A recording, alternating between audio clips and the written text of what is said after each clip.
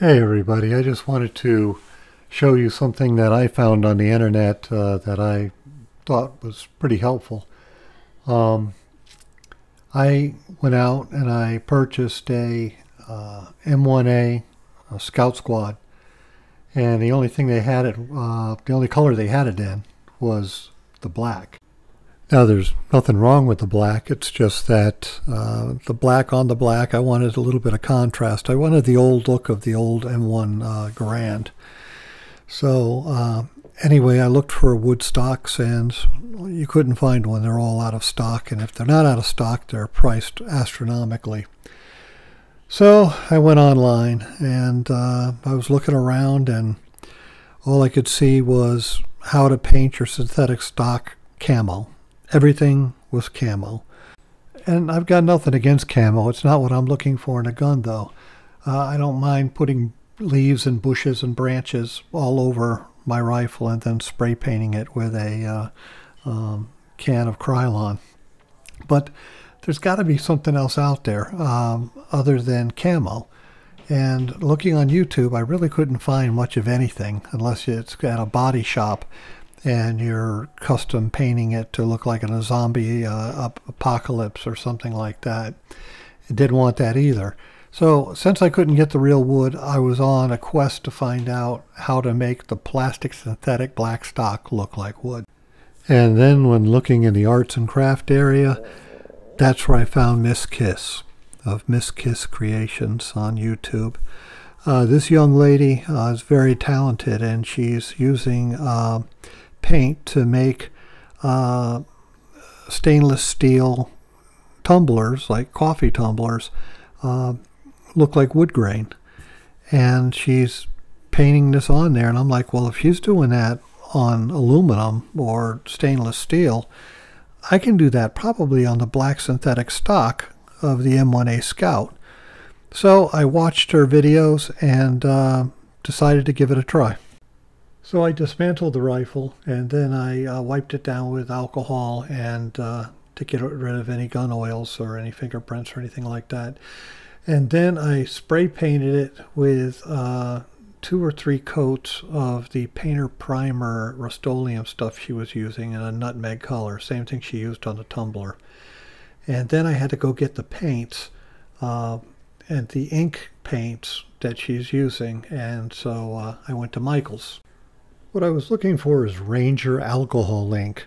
Never heard of it before. Uh, it looks like you just put a couple drops on something and then you wipe it with a, uh, a brush or a, like I used a makeup brush and you go from front to back and you just I did the same thing that Miss Kiss Crea from Creations there did it and um, I started to worry at first because I'm like wow this is looking kind of weird but um, I did use uh, the alcohol ink. Uh, first one was uh, teak wood.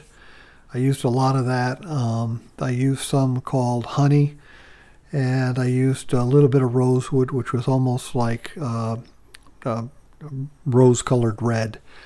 But when you blend these together and you just kind of brush it along, uh, it takes a little bit of practice, but if you make a mistake, you just get some alcohol and you wipe it down and you, you, you go over it again.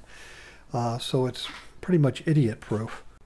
So anyway, here's a couple more pictures of it after I finished, uh, at least applying the ink. And one of the things that Miss Kiss does and other people that do tumblers do is they put an epoxy uh, on their tumblers to make it really glossy and shiny. Obviously, I can't use an epoxy. And when you put just the ink down, it's very delicate. I mean, you just brush against it lightly and it's going to scratch that and it's going to get right down to the primer again. So I, you know, I would dab it over again with some more ink. But uh, to set this, uh, one of the things that uh, Miss Kiss suggested was the uh, Krylon acrylic, uh, the crystal clear acrylic. And uh, I hung it up out in the back area where it wasn't away from the wind and dust and debris.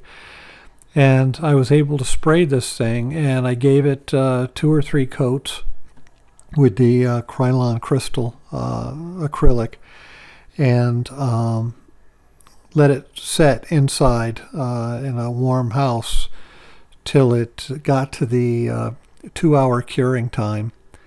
And when I did spray the Krylon on it, it, it some of the ink turned like a green color a little bit, um, which wasn't too bad, but I, I, mean, I noticed it was a little bit an olive color.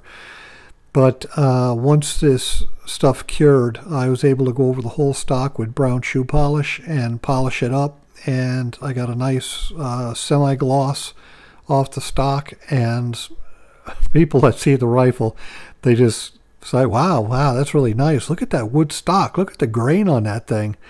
That is, wow, that is nice. That's a good looking rifle. And that's exactly what I was looking for.